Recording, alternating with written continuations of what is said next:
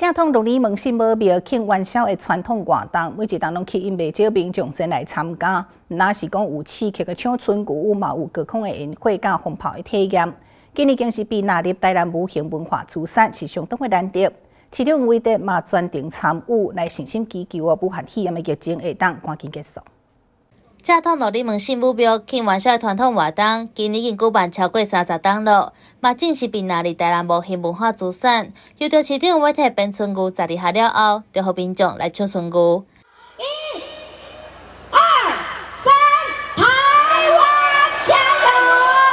三弟们，专国盛世，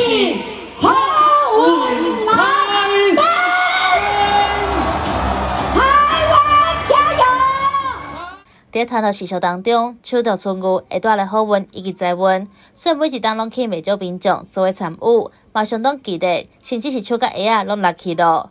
现在鞋啊捡着真多，鞋啊鞋啊唔免搞起来哈，谢谢，还有眼镜，还有眼镜。今年市长委体其实特别专程参与，为了紧到变村牛以及气泡拢无缺失，但是希望借着信心，会当保庇武汉肺炎疫情早日结束。我希望。咱可能有足侪精彩节目，所以我要简单祝福咱所有好朋友，咱台湾啊，这个国泰民安、风调雨顺，早日脱离武汉肺炎的这个感染区域。咱当然世界的这个武汉肺炎，都希望早日结束。嘛要啊，祝福各位时代好朋友身体健康。马祖保庇，一定要天佑台湾，天佑全世界。